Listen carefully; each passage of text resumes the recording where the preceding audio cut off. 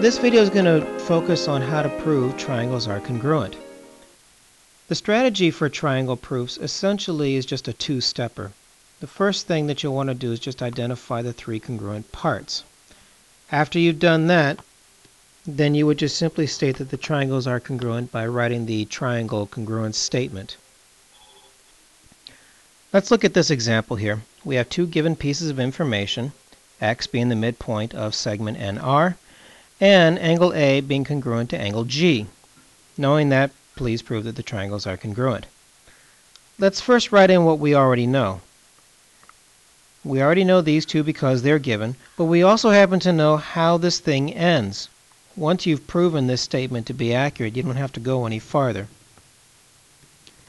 So let's remember the steps here. We want to identify the three congruent parts and then state that the triangles are congruent. So let's see what we know. Well, let's go ahead and mark this. We know angle A is congruent to angle G. And notice here the numbers 1 and 2 here. A lot of times when a proof has numbers in there, that's giving you a hint on what to focus on. In this particular case, you might notice that these two particular angles are vertical angles. And vertical angles are equal to one another. So let's go ahead and write that. Angle 1 is congruent to angle 2. And how do we know that's true? Because those are vertical angles, and vertical angles are congruent. A reminder, remember you need three pairs of congruent parts, and what we have now are two of them, this one and this one. So what we need now is one more. Keep in mind we were given this piece of information, and because of that, that's got to help us somewhere. What that does tell us is this. Something is equal. And because it's talking about a segment, chances are we're talking about two segments that are equal to one another. Think about what a midpoint does. A midpoint basically marks the halfway point in a segment. So what you're being told essentially is that the distance from here to here is the same as it is from here to here. By definition, midpoints cut segments in half. Because of that, we can state unequivocally that nx is congruent to xr. And the reason is because that's just the definition of a midpoint. You can write this reason however way you want. Definition of midpoint works fine. You can state that point x cuts nr into two equal halves. That works fine as well, as long as you're able to internalize this information here and articulate that you needed it in order to make this statement. So now we've got our three equal parts. One common mistake students make with proofs is that they don't mark on the picture. And if you don't mark on the picture, it's a little tough to see exactly what you have to show that these are equal. So notice that we have an angle here, an angle here, and a side. Or you can go side, angle, angle. But in any case, the side is not between the two angles, which is the main point. So angle, angle, angle, side. Sorry, let's try again. Angle, angle, side is the reason for the triangles being congruent.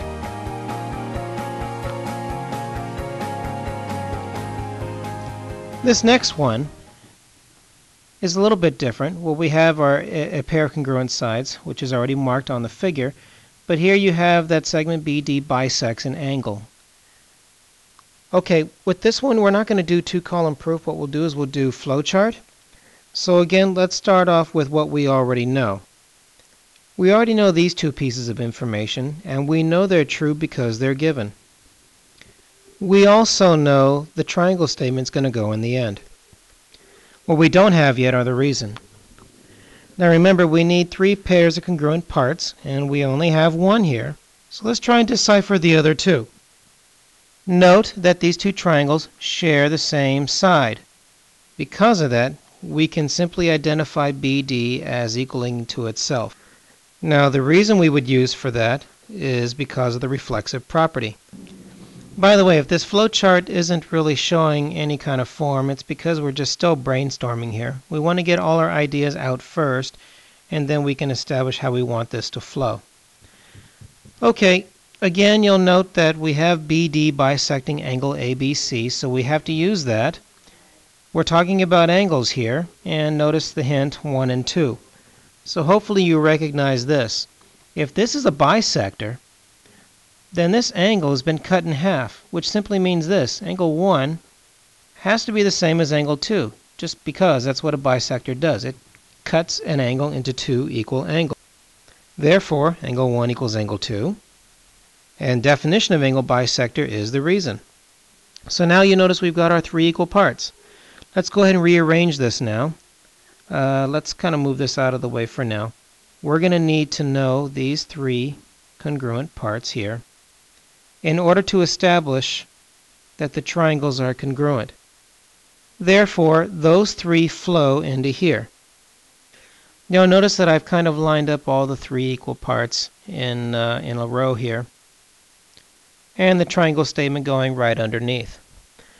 Now, here's the last bit here if you want to make your flow chart flow, and that is this. We are given this piece of information. This piece of information was needed to figure out which of these ideas. Well, you needed it to figure out angle 1 and angle 2 because, and this by the way is a big hint, definition of angle bisector. So you want an arrow flowing to here basically stating that you needed to know this first to show this was true.